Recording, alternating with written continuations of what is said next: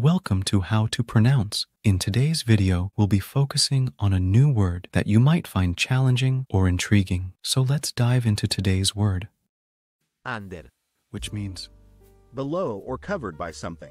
let's say it all together. under, under, under, One more time. under, under, under. Thank you for joining us on this adventure in pronunciation. Remember, language is a journey, not a destination.